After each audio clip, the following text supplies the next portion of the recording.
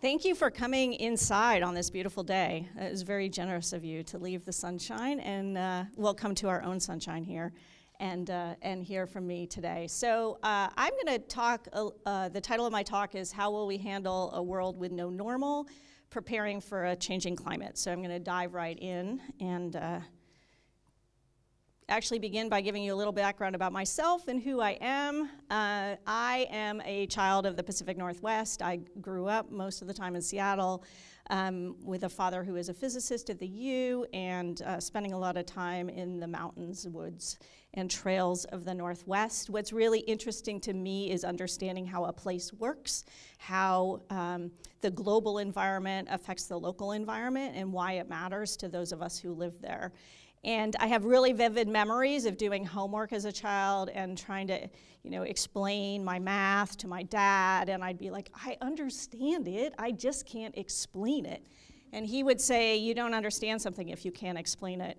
So um, now I've been doomed to spend my life trying to bridge the science and practice gap, trying to translate in both directions. So you can judge for yourself how far I still have to go before I really understand things. So, I, as Sunshine said, I'm the director of the Climate Impacts Group. It's a group at the University of Washington that's been working for 23 years to connect science and decision making. And our aim is to understand the local impacts of climate change. We do science on the um, local impacts and then to work with regional managers, planners, decision makers, elected officials to apply this information in the decisions that they're making now. So a lot of the work that I'm talking about here represents sort of projects that we've been working on over the past 23 years and a bunch of the partnerships we have in the Pacific Northwest. So I want to just begin by reminding us that climate's fingerprints are everywhere. And we can see that when we go in space and look down at the planet. And this is my home, the Northwest, Washington State here. And you can see that we got really two very different climates here. We've got the uh, windward side of the Cascades, where it's wet in the largest temperate rainforest on the planet. And then we've got the leeward side, which is actually a high desert. And um, this is easy to tell from space, and as you get down lower to the ground, you see the fingerprints play out in what grows where. This is just to give you a little tour of my neck of the woods from, the, again, these big, enormous um, rainforest conifers to our snowy peaks, um, salty ocean shore, and then higher, drier sagebrush desert.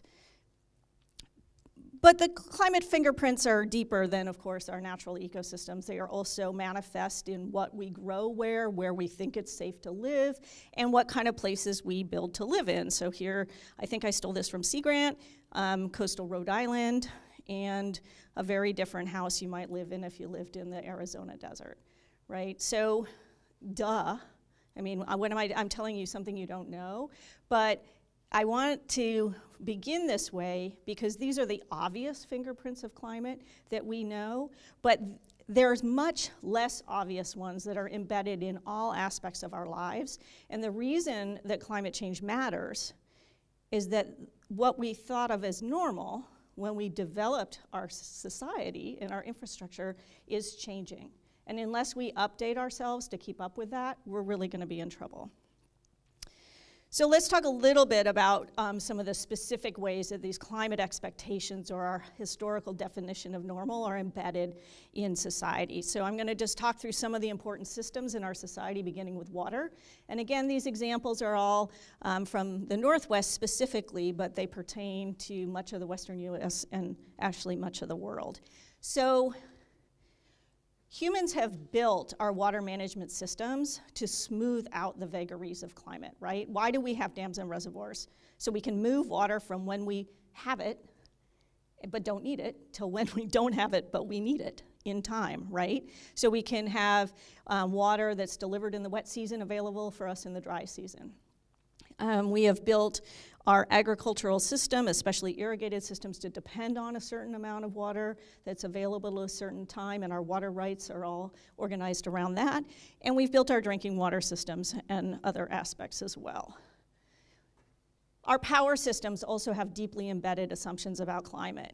In much of this country, power is produced by hydropower. In the Northwest, it accounts for 70% of our power.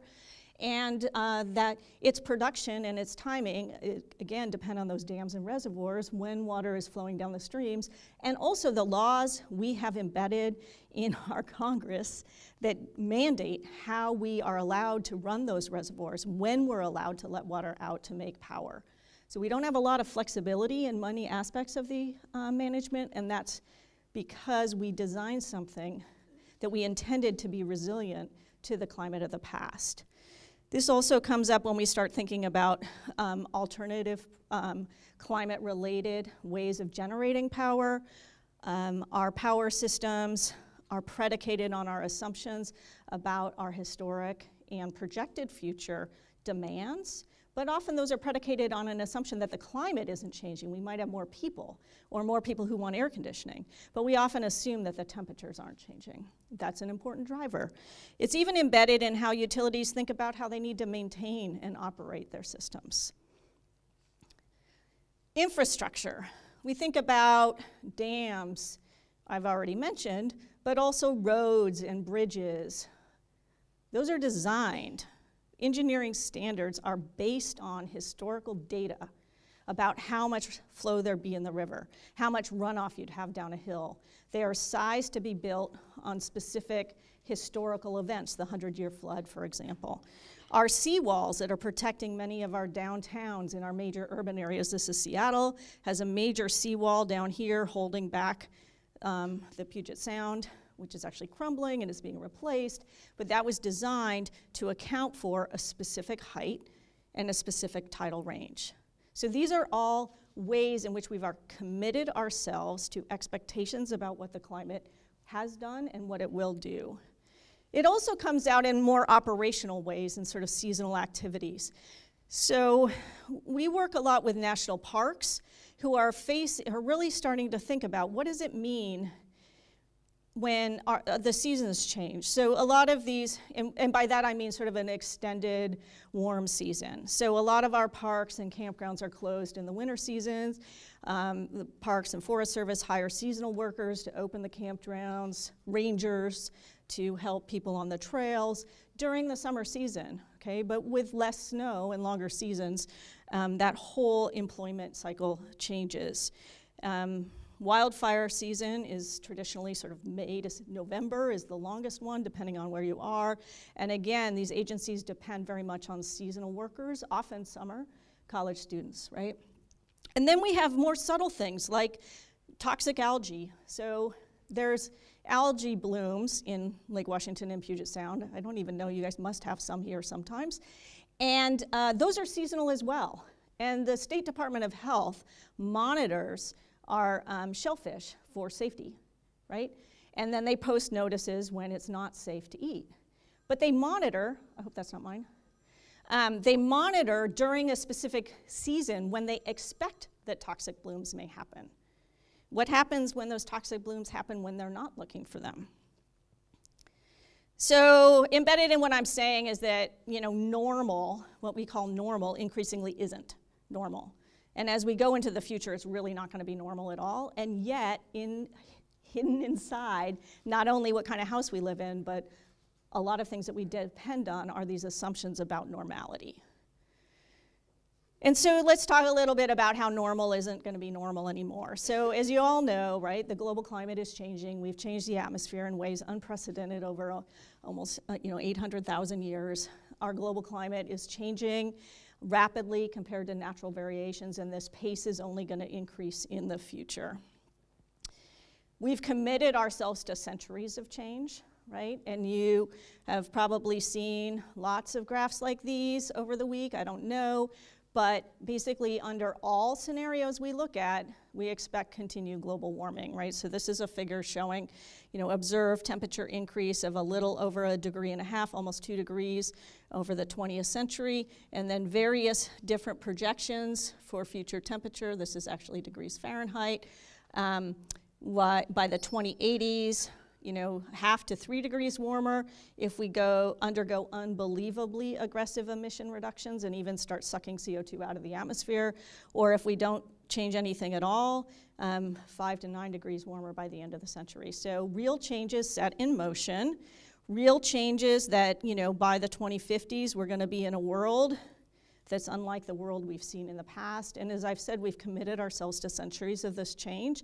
If we stopped our emissions today, we would still see warming for hundreds of years and sea level rise for thousands of years.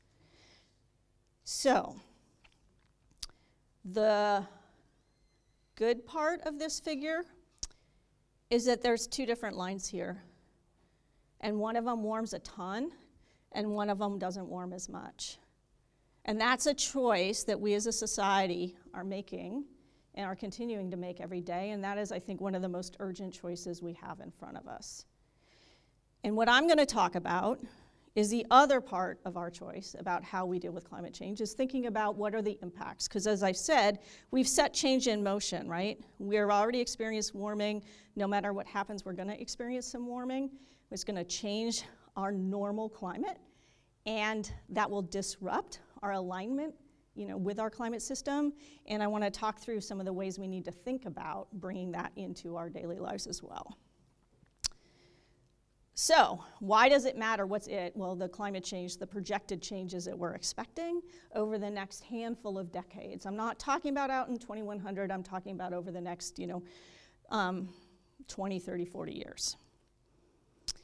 So let's go back to each of those systems that I was talking about, and I'll talk a little bit more specifically about what we know about these changes. So broadly, we know that climate change will alter water availability around the globe, and kind of, you know, strangely, it will actually both increase the likelihood of droughts and floods. And the shorthand we use, I use at home when I'm talking to legislators, is, you know, more water when we don't need it, and less water when we do need it, right? And that's um, in particular, in the Northwest, like California, climate change means a big reduction in our mountain snowpack, and our mountain snowpack is our natural reservoir. And the fact that we have a mountain snowpack as a natural reservoir meant that we didn't build very big dams and reservoirs. And so that means that we have likely summer water availability problems. And so if we continue to operate these systems as normal, as in the past, we're setting ourselves up for some major challenges. So, power, climate change will affect energy supply and demand, as well as the, as the lifetime and performance of capital infrastructure. And so, uh, again, uh, supply and demand. Supply is obvious if you're talking about hydropower, right? Really big changes in the amount and timing of stream flow, but also um, changes in wind patterns and important um, impacts on supply. This lifetime and performance of capital infrastructure, I mean, if you're a power system geek, this won't be surprising to you, but I didn't know about this, right? So transmission efficiency decreases with heat, right? So it's harder to decrease, uh, transmit the power. And um, I never really thought about things like wildfire and their implications for our power system, right? A lot of uh, problems with wildfire in the West end up burning the transmission lines, which are um, another risk that rural communities face, and then also another risk of a cost of recovery. So, infrastructure, climate change will increase flood risk in rivers and along coasts. So, both there's sort of three major factors influencing uh, flooding especially in the northwest. But on any coastal areas, obviously we have sea level rise projected um, to continue and accelerate this century. Um, we also have increased heavy rainfall, which can cause localized flooding. And then in some cases, increased flood risk in rivers. So in places like um, the western US, again, where climate change means less winter snowpack, it's still going to be precipitating. It's just going to be warm right? So instead of collecting as snow, the rain comes down the rivers, which can increase flood risks. And so this has implications for what the size of the 500-year floodplain is. And this is why we were talking about the FEMA risk map, or I was talking about the FEMA risk maps today on our, on our um, field trip, which is that they have typically been designed accounting for historical floods, and they define an area of risk that does not include the increased risk around climate change. So then also we see that climate change, I called it, uh, will lengthen what I called the warm season. I was gonna say it'll make seasons change, which, does, you know, sort of spring coming earlier, fall coming later. It doesn't actually change the equinoxes, but it makes, you know, frost-free season longer. And so, for example, in my example with Washington Department of Health and their monitoring, they have actually realized that climate change will cause some of these blooms to happen earlier at times when historically they haven't been out checking for the toxic blooms. So they've been expanding their monitoring season to account for that. So this is my attempt. I'm not the VR guy, right? My attempt to have a, a kind of cute graphic, which is my, my analogy for what we're doing when we're thinking about the climate of the past and we don't even know we're thinking about the climate of the past, right? We're just uh, running our systems and uh, you know running our society as we've thought made sense. It's as if we're driving down the road looking in the rearview mirror, right? And in fact, the road ahead a little more rough than we might expect. And um, our job in my group is, is to help um, governments, agencies, communities and businesses uncover these embedded climate assumptions and see how or whether they need to be updated to account for the reality of the future we expect. And um, so we, our work runs the gamut from sort of the motivation of this is why it might be a problem to you, to actually talking through with folks what they might be able to do about it. And so here's the part that isn't quite so gloomy where uh, I think people are always surprised um, when I tell them how much we know about what we expect to happen in the future. So I would say we know more about the future than you may think. And I think that most stories that I read um, in general about climate change are sort of at a global scale. You know, how much is the planet going to warm? Maybe at a national scale and sort of some particular events, like maybe the Texas drought was more related to climate change, but often it's kind of about polar bears and wildfires somewhere else. And what I think people don't know, which is really important, is that we know more about the future than that. There's been a lot of work looking at what the local impacts of climate change are. So you can take the global climate models that scientists use and you can do regional climate modeling. And so this is that same kind of graph about how much it's going to warm, but this time it's for the Puget Sound region, like of the northwest part of Washington. So it's not for the globe, the nation, or a state, it's for a region. And we then have also developed this wealth of information about what the downstream impacts of that warming and the projected changes in temperature, uh, precipitation, and sea level rise are. And this is just to give you an example of this tool that managers in the Northwest are using. This is a little Google Map interface. Actually, this isn't just the region, right? This is a whole sort of Washington, Oregon, Idaho, California, little Nevada, showing um, locations on rivers, specific river locations, where we have projected future stream flow under these different climate change scenarios. So um, this isn't just like it's going to get a little bit warmer and I can show you a map that's kind of orange or red compared to now. This is really specific stream, projected future stream flow at locations that dam and reservoir managers are using to make their management decisions. Um, just to give you one more example of the kind of information we have, I was mentioning those sort of three factors that contribute to increasing flood risk. And for a number of rivers in the Puget Sound, sort of Seattle general vicinity, we've looked at the combined impacts of sea level rise, the heavier rains, the declining snowpack, and looked at specific river locations and specific time periods in the future to say, to project changes in flood frequency. We also have projected changes in low flow frequency because it's the low flows that matter for other, other systems. And so it's not just a matter of all these sort of general bad things are going to happen about more droughts, more floods. Um, it's actually to the stage where in many locations, this isn't the whole world, it's not even the whole US that has this, um, but in many locations, we have very locally specific, sector specific information that can be used in risk assessment and planning and decision making. Uh, so one example of that are these are two maps. This is um, the city of Olympia, which is the Washington state capital. This is the city of Seattle. And in both of these cases, these are downtown maps looking at different areas of the um, shoreline at risk to flooding from different amounts of sea level rise. And again, this is not unique to our neck of the woods. There's been plenty of this work being done in the Northeast, in Rhode Island, in Boston, in New York. But you probably know those examples, and I wanted to bring you the ones you don't know that are from the, the other side of the country. And so the point here, again, is that there's pretty specific information about how big the risks are, what's at risk. And the other interesting element of this slide is that both of these figures were made by those cities. They weren't made by scientists trying to like tell somebody who's not listening that this is an important issue. This, this is made, um, these are made by the two cities and are used in their own planning.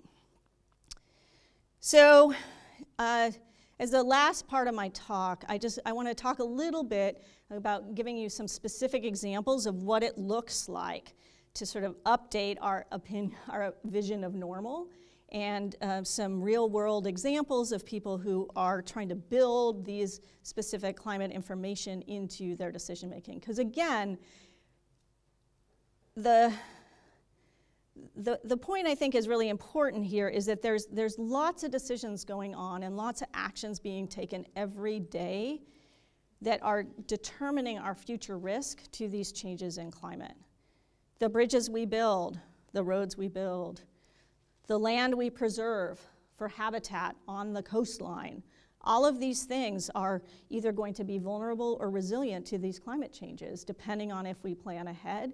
And so, our goal is to get ahead of it for those parts of the change that are inevitable and um, to ensure that um, we come as close to being resilient as we can. So, one example is from the small city of Bellingham, Washington. It's north of Seattle and Puget Sound, is where Western Washington University is. Um, and it's a site of a, um, a of previous um, pulp mill on, on the Puget Sound there. And it was a big tailings pond or holding pond, Georgia Pacific pulp mill incredibly polluted site right on the downtown edge of the Port of Bellingham. And um, the, the Port of Bellingham uh, engaged in, and the city of Bellingham engaged in a redevelopment project where they envisioned a whole bunch of things. One is cleaning up this toxic site. And then the other is opening up the shoreline to the city because it's one of these sort of working port towns, right, where you couldn't really get to the water side unless you were um, working. And so they have developed um, a new, this is their development plan, which is actually under construction. I just only have the architectural drawing that um, was part of a large community process around you know, re- redesigning. What do we want? We want connectivity, we want gathering spaces, we want you know, live work, we want you know, good business stimulus, and we want this to be um, resilient even as sea level rises. And so they use sea level rise projections in their design and grading of the site. They did a lot of really smart things. They have a lot of low lying land right on the current shoreline, and for in those places, they put sort of um, less valuable uses, docks and small marinas that are updated or rebuilt more often, that aren't huge capital investments. The big um, construction of condos and other major um, commercial properties, they put uphill. And they actually made the hill higher so that it, it's um, large enough to accommodate the projected sea level rise. So, another example is from our State Department of, of Ecology, and they're the ones in charge of um, what, what I call state Superfund cleanups, right? So there's the National Superfund program, but then within each state, there are toxic sites and there are state agencies that are responsible for cleaning those up. And so their, their job is to isolate the contaminant and to protect human and environmental life forever. And then when you think about that and you think about you're going to protect something forever, a lot of these sites are on rivers or on the coastline. Um, they're susceptible to risks from sea level rise, flooding, landslides, even some are um, threatened by wildfire. So we have I have a colleague, a woman who's a toxicologist in the state, toxics program in the State Department of Ecology, and she was thinking about how vulnerable these sites are and the kinds of things that can happen. Like this site on the Sound that had, uh, I don't, something like two 100 year storms within a couple of months. This is actually a toxic site that's underneath the gravel, underneath a cap, got totally um, uncovered um, in the storm. Sea level rise is an interesting one because it actually, you know, as it infiltrates into the ground, it changes the buoyancy, and so fuel tanks actually can pop out of the ground um, when, when that happens. So she got really, really concerned about this. And she said, We are in charge of doing this stuff. We are designing and implementing new cleanups all the time, and we really ought to be thinking about the fact that the environment is changing. And so she lobbied for a couple years in her program. Her boss finally let her, her um, do this, and she developed this guide, um, guidelines for designers, ad- adaptation strategies for resilient cleanup remedies, which is, I think, one of the first in the nation, where it's step by step for people working through this process. How do you incorporate climate change? And then a whole bunch of the online data that are like the ones I was showing you, showing where are the flood risks? How big is the sea level rise risk? Which of these things do you need to incorporate? So um, I think this got a lot of extra attention after Hurricane Harvey flooded all of those Superfund sites in Texas. And um, I think just this realization that um, if they had been well designed, they may not be well designed in a changing climate. So another example, I don't know if you saw about saw this is in the New York Times in the AP this week. It's about um, our salmon in the Northwest. If you know, salmon are an endangered species. They're iconic. They're super important for regional economy, and they're incredibly important for the Native American tribes. And um, the tribes sued the state of Washington several years ago and because there are many of these culverts or water crossing, you know, there's a road crossing with the water going under it, um, structures that are not salmon friendly. This one has the salmon going up the stream, but they can't get up the hill to go up upstream to their habitat, so they all stop here. And this is one of a whole lot of reasons that salmon populations are in trouble. And the courts found that the state of Washington had to replace all the fish blocking um, culverts, which is about a thousand, and to, will cost about $2.4 billion. And the reason it was in the paper right now is that um, there was an appeal and uh, it didn't go any. The state appealed. There was a tie, so the Indian tribes were favored, and so the state of Washington still has to fix its culverts. So, um, our State Department of Ecology, again, and our State Department of Transportation are actually thinking well, if we're going to spend $2.4 billion replacing culverts, maybe they should be the right size for the flows of the future. Because we have data that show that in many locations, the flood flows will increase 20, 50, 75% in the next 50 years. And the expensive part about replacing a culvert is not the size of the pipe. The expensive part of the replacing the culvert is shutting the highway, digging it up, and putting the pipe in. So um, this is an example of you know a long-term investment where they're actually thinking of what the conditions are going to be. And so that's my last one, which is this example of sort of what does resilience look like. I would say spending public money once or spending it right. And this is an example from another um, Washington city, the city of Anacortes, small community, but um, this is a drinking water treatment plant for the whole area around it. It's right on a river, which you can't see um, in this um, dark slide. And our research has shown, again, that the flood risk in this river is increasing quite a bit with climate change. And not only that, but more sediment will come down the stream. Um, and sedimentation is a huge part of the, or desedimentation is a huge part of the job of this treatment plant. And so this treatment plant, which has now been built, $56 million water treatment plant, was designed differently to, to accommodate this increased flooding and this increased sediment load. And um, we had this field trip today to the FM Global where they were talking about how you handle floods and the different things that you might do. And it, it was pretty interesting because um, this plant has uh, concerned about their electrical um, power and controls. And so they put them all on the top of a little hill. And um, if you remember, the guy said, one of the strategies for dealing with floodwater is to waterproof your your entity, and he didn't know many examples of that. So the city of Anacortes, actually, this water treatment plant actually did make a watertight treatment building. They built, designed it like a ship, um, where the whole first floor is watertight with no, uh, what do you call them? Punctures. Uh, it's not called a puncture. No holes, no doors, windows. They're all on the second floor. Um, so there are a couple examples like that of how they designed it differently. And this um, quote I really like from the Public Works Director, where he's showing our governor around. We were embarking on building a large facility, an expensive facility. I didn't want to waste people's money and have to replace it or remodel it in 50 years. It's going to be here for a while.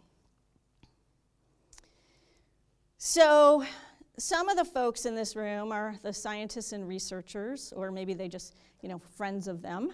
Um, and I want to suggest that um, a lot of this work to develop local resilience to climate change, but really to any serious environmental issue, requires what I would call a new approach to science. Not to say that there's probably not a lot of people, there are probably plenty of people in this room who would do it this way, but it's not the mainstream approach to science.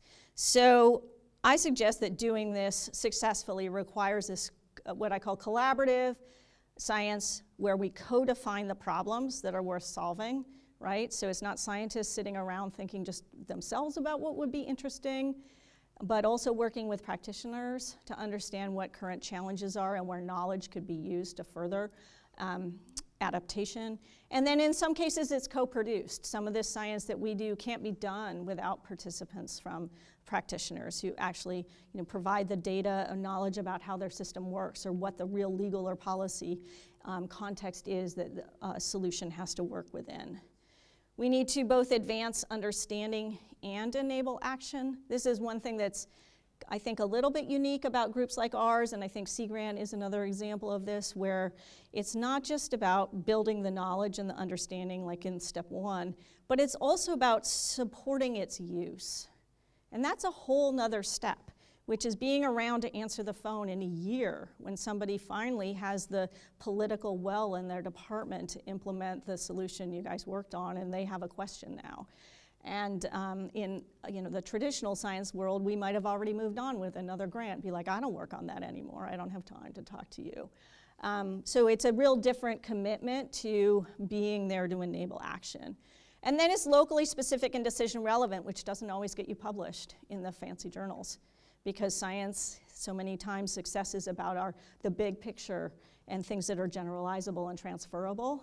And especially in the climate world and in so many other issues, right? What you can do is very specific to the place you are. What are the specific risks there? What's the specific context? And making a difference means, you know, doing science that's specific in that way. And so um, I've mentioned our group. We are not, of course, not the only group that does this. There is um, a USGS funded program. This is the other center I direct called Climate Adaptation Science Centers, and there are eight of these around the nation. So every part of the country is served by one of these, and their task is to develop decision relevant science, in particular for uh, lands, resource managers, cultural resource managers, Department of Interior um, sort of priorities. NOAA has programs that fund this, um, the Sea Grant program and other programs. And then there's plenty of other sort of local university teams who are doing this specific science. So although all my examples are from my neck of the woods, um, there are plenty of other groups like ours around the nation, sort of depending on wherever um, your interests are. I think it also requires a new approach to decision making, one in which we actually acknowledge the, the climate change context and the implications of our decisions on climate change and of climate change on our decisions. And so this is a recent, um, just, just one recent example from things I've been working on. The Washington State Recreation and Conservation Office, I had to write down the number because I'm not going to remember. Um, it it, it um, gives out about $60 million every year in funding to support recreation and conservation. So that can be infrastructure, sort of roads and trails and campgrounds. Conservation is often habitat protection or ecosystem recovery. And they started thinking, well, wait a minute, we're investing $60 million a year. And these are supposed to be projects with long lasting benefits. Are they going to have long lasting benefits? Are we investing this money wisely? So their board had this memo. You know, the board has a fiduciary responsibility to ensure wise investment of grant funds. At a minimum, a funded project should not significantly add to greenhouse gas emissions, and the impacts of climate should not negatively affect the state's investment. And I would say, so this is aspirational to them. They don't, they made this declaration, and now they're trying to figure out what the heck that means. How would they know if they're in, you know? I think that adding the greenhouse gas emissions, while that's not easy, that's the easy part of this, doing that math and figuring it out. The rest of it is more complicated, but um, they're going to begin with one part of their program and start thinking through of all these risks of a changing climate, which of them are likely to affect their investments and how would they know? And what are they going to ask their um, grant applicants to show, to demonstrate that um, the state's investment will be well placed. So in the end, I, have started thinking about like what, what can we all do? I mean, I think some people are in professions um, or are, are, placed because of maybe their um, involvement as a citizen in planning or decision making that has a long-term impact and they can really think about how are we including this climate information in it. But I think all the rest of us can ask these climate questions too in our, in our personal lives or in our, our reporting lives, right? So how does this action contribute to or reduce climate change? How have you adjusted this investment or this activity or the decision to ensure a successful outcome even as the climate changes? How do I know you're spending my money wisely? What did you assume about the future? And is it realistic? And you can make a big difference if you do this. So, one of the national forests in Washington state is like 6,000 acres. Is that right? It's got to be more than that. I forget how many it is. O- Okanogan Wenatchee National Forest over on the east of the mountains. Um, it was the first national forest in the nation to include climate change in its National Forest Plan. The National Forest Plans are done, I think it's every 20 years, and they guide everything the forest does. Why? And they included climate change in this in the 90s. And why did they do it? Because they had scoping meetings, right? They begin by inviting the public to come and say, What's important to you about your national forest? What do you think we need to worry about? What are you doing about it? And they heard from tons of people the question what are you doing about climate change? Climate change is increasing wildfire risk, it's increasing flooding risk. We want to know what you're doing about it. And it was because of that demand and that question what are you assuming about the future and how are you coping with it that actually took them down this road. So um, I think the, the happy thing that I think that very few people maybe realize is how much work is going on in our agencies and governments, and in some cases, the very long sighted businesses about thinking about climate risks and, and um, how to adjust what they do. When I talk to people on an airplane about what I do, and they're like, oh, that must be so depressing, and after I agree with them that is very depressing, and that um, it's kind of a hard job to have. They say the happy secret is that there's tons of work going on in this. And so I think our other task is to actually hold up those examples and celebrate them and normalize them. Because there's plenty of communities that don't want to be the first one. They don't want to be the weird one that does this kind of planning or takes this new step. But it turns out they're not the first one anymore. The first ones have already stepped. And so it's more of a story of there's these other examples and why aren't you too? And here, and people learn better from their peers than from others. So there's, you know, I think there's a lot of momentum to come from daylighting um, this work. And many times it's done, as you can imagine, it kind of quietly, because there may not be perceived to be much public support for this. And so I think a lot more can happen if agencies um, and individuals perceive this support.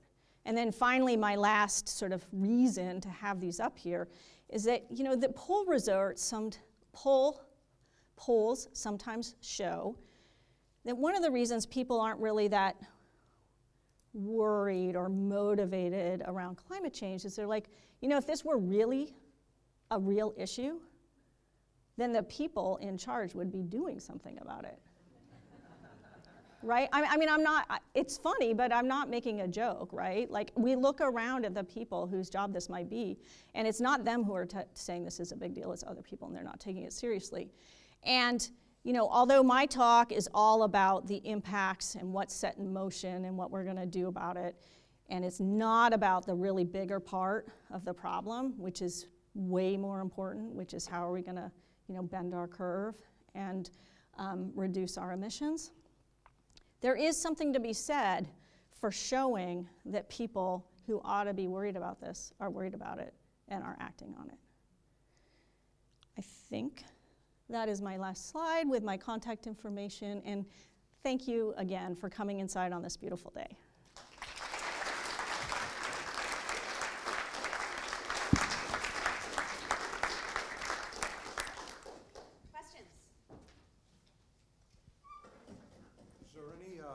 Agencies, are there any agencies uh, helping to do funding to redirect uh, corporations more so in energy providing um, industry to start creating some federal grants or money resources to change the um, financial goals of these companies to assist in renewable energy sources? Well, I don't know a lot about that. Um, I would say that the, the whole issue of motivating different energy companies to invest more in renewables is a pretty complicated subject wrapped around you know the subsidies we have for different forms of fuel um, and uh, the non-level playing field that currently exists for different kinds of energy sources. So um, I would say that one of the big reasons that, I mean, I think we all know that there's been, there's a lot of reasons why there isn't a lot of action on climate change, and one of them is that some um, uh, pretty powerful entities have a lot to lose what, what agencies would you suggest um, federally and environmentally to start getting some game plans to make a push on these corporations to do that form of change to cut the CO2 emissions down? Well, I think this is really a um, problem that needs to be addressed, you know, in Congress and at the top levels of government because agencies, as we have seen, the EPA has done what it can under the Clean Air Act for regu- and we have people here who know more than I do about that. Um, but uh, I think there the there um, the limits of what can be done without new legislation or policy, uh, we're pretty close to those limits.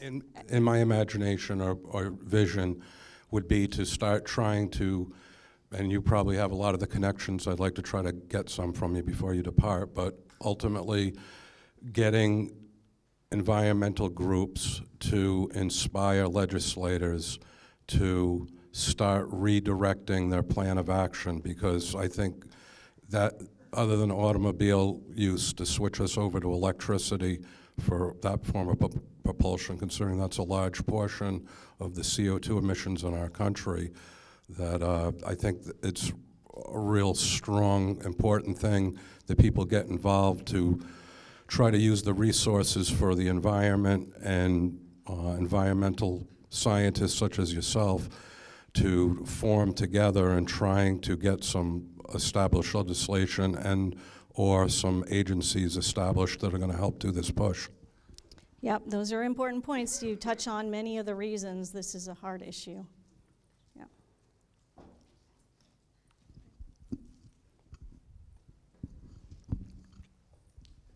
Hi, um, thank you for this interesting talk. Um, I was curious about um, the one example you gave of this uh, town uh, that decided to uh, recreate its, its coastal environment. Um, so I'm curious as to what is the story uh, that kind of you know, propelled or was the catalyst behind that this, this decision? And I'm particularly curious because I, my understanding is that uh, a lot of large uh, American cities and, and cities around the world uh, will have uh, the right expertise and the right data to to uh, go forward with uh, and plan resiliency projects. But smaller uh, towns often don't have the data and lacks the expertise, lack the expertise and, and the expert essentially. So. Uh, that sounds like a great success story. I'm curious about. Yeah, so uh, I think the original impetus for the Port of Belling Bellingham Bay redevelopment project was, frankly, the fact that there was a um, shut down toxic site, former pulp mill on the shore that was an eyesore that prevented people from getting to the beach, and it was, you know, a contaminated site that people wanted to clean up, and. Um, and when that kind of thing happens and a community comes together to vision what it would like and what its priorities are in that site, um, you know, being resilient to climate change or you know dealing with sea level rise was somewhere on the list, but it's not. It wasn't necessarily the community's priority, right? The community's priority is having a vibrant place to be and good places to live, and you know a nice marina they could use. But the port, the engineer and the planner for the port of Bellingham was familiar with sea level rise projections and research and concern. And you know that was because of our group and the fact that we've been working there for 23 years and part of our job is actually to make people aware of the risks and provide data to, to use in planning. And so um, Ho- However, this is an example where it's kind of low tech. I mean, the, the design and engineering aren't low tech, deciding how to grade the site and what is an appropriate height and everything. But you know, he just got our general sea level rise projections and from the Intergovernmental Panel on Climate Change report too, and is like, uh, you know, three feet. Okay, let's make it better than that, right? So, it it for some of these, I, I'm being obnoxious. I'm sure it was more detailed than that. But it didn't require a study. It didn't require any new analysis from us, and it didn't require any new analysis from him. He used projected numbers that are not particularly specific, but were good enough. And then they put in the freeboard, you know, the, the room that they needed. And so I think um, having some locally specific data is important. Um, I think equally important is having the locally specific awareness or the local awareness um, around the issue. And um, I frankly don't know the details of that story as to whether it was hard for him to like get that in there. Um, you know, he describes their port culture as designing for the future and having a long, uh, you know, a long time horizon. So often it's places like that where, you know, you can really, where, where people's job is to think long term. And there are clearly long term implications of climate change, so it's a good map, right? So Moody's announced in January that they're going to begin to use uh, a city's ability to deal with uh, climate change and the shocks of uh, extreme weather in their ratings. And so this is a way that cities are going to be motivated to try to come up with, uh, at least respond to that. And I really like how you're looking at how public funds are part of the whole equation. I'm also wondering about the use of things like Fannie and Freddie for home mortgages. Everyone who gets a home mortgage, which is a 30-year investment, is backed by Fannie and Freddie, and that's government money. And if these homes are going to be underwater within that 30 years, you know, there should be some sort of acknowledgement of that in the mortgage. Yeah, that's, I mean, I, I think, so first of all, long term, or, or um, not long term, but big picture, yes, right? I mean, the way we move through this is we actually really have our eyes open to what the risks are. And we actually, you know, choose how we're going to address them. If I choose to put my big house in the floodplain, but I have enough money to build it again myself every time it floods, okay. But if I put my house in the floodplain and ask you to rebuild it for me every time it floods, maybe that's not so okay, right? So that sort of knowledge and then disclosure and documentation, I think, is a super important path forward. I think like getting there from here is challenging for a bunch of reasons. One is that we haven't done, we, the royal we, haven't done the analyses to actually have reasonable risk maps like across the country for those purposes. And then we also have these other ways we prop up risky investments, like our flood insurance program, right? So. Oh, I want to say one thing though. I just learned something super cool about what I think it was approved, or I'm looking around for someone who knows this. But um, the uh, so the Rhode Island Coastal Commission is that the right name? Thank you. I knew it ended in C. Commission, council, committee. Um, sorry, I'm making myself resonate here. Uh, just made or is considering a, a regulation that when a homeowner or property owner gets a permit for an activity in the coastal zone, right, like within 200 feet of the shore, I'm making up the numbers, don't quote me on any of the numbers, um, then they have to consider these climate change scenarios, such as different sea level rise scenarios, in, in the impact of that on the proposed project for which they're getting a permit. And then record what they chose to do in their deed or property evidence or whatever the thing is that passes to the next owner. So when the next owner wants to buy it, or the next buyer, right, they can say, oh, look, you looked at the scenarios and saw that it could be this much sea level rise, and you chose to ignore it and build your this there. And that was a risk you were willing to assume, and I don't want to assume that risk because it's documented in here. So that's another example of, I mean, it's not exactly the Freddie, you know, but it's another example where I think daylighting what the risks are um, is a really important step that actually can have a lot of power. So. I, uh, I was very impressed with that uh, water treatment facility in Anacortes and with the forward thinking going into that. But do you have any idea how much of that $56 million price tag was was with this forward thinking? And is that an uh, impediment to other communities doing this? You know, that's a terrific question, and I don't know the answer, but I want to, so I'm going to go email Fred and ask him, uh, Buckenmeyer. Um, I, I, I do know that they had experienced some flooding before, right? And so there's a there's a picture of the old site, uh, the old building, where you can see the hundred, or they or they at least knew that the hundred year the previous hundred year flood was pretty dang high on the building, above any of those penetrations. That's the word I was looking for. Um, so uh, it wasn't a, uh, the design changes were not completely unwarranted based on past experience, which would be a reason that he was able to get them through, right? And this is one of the things, often climate change is increasing risks that we have experienced, and so those can be used as motivating factors to ameliorate them. So the specific question of how much, I don't know.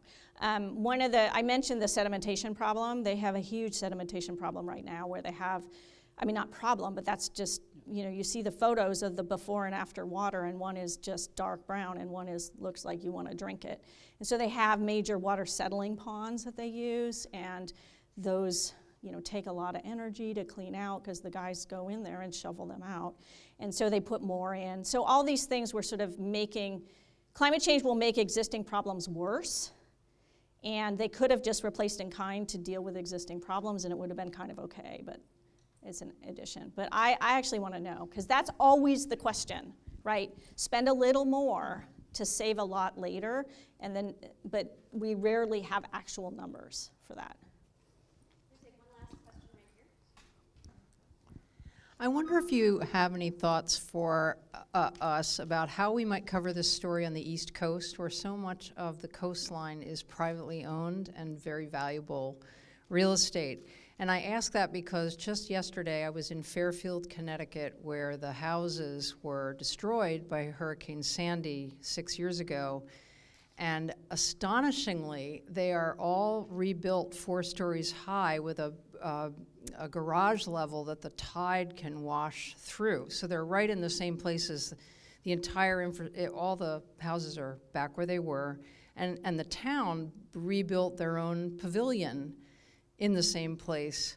And you know, I'm not really covering that aspect of the story, but I just was uh, struck by how Bellingham is saying, "Oh, build back from the where the sea reaches," and obviously, Yankees don't want to build back from where the sea reaches. Well, and to be fair, nobody had a house there yet, right? There was a contaminated pulp mill that no one was living on, so nobody had to move, right? And that, that is the hard part. Nobody, um, I mean, it- this isn't easy, right? Um, I would say, I'm just a firm believer. I mean, call th- this, it, I was going to say call me naive, call me hopeful, but I, I really think that we have to be clear about what some of these risks are and then make um, increase the alignment between those who bear the risks and those who get the rewards. So if you want to build your house there and you put it on stilts and the seawall comes the sea comes under it, what's wrong with that? I mean, that's your I don't have to bail you out. Um, you didn't put up a big old wall that has ecological impacts, right? By destroying habitat or by causing increased erosion to your neighbors. I mean, the armoring and the, you know, having to rebuild, rebuild are costly, both ecologically and economically. I'm not sure that having your seawater go under your house is that much of a problem. I mean, that's one of the design responses to um, rising seas, right? And to think about um, if you're designing a waterfront park, how can it handle occasional flooding?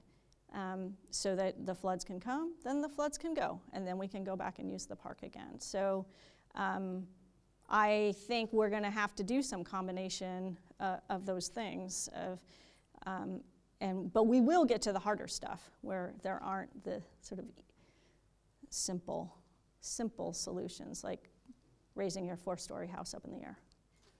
Hey, thank you so much. I really enjoyed this.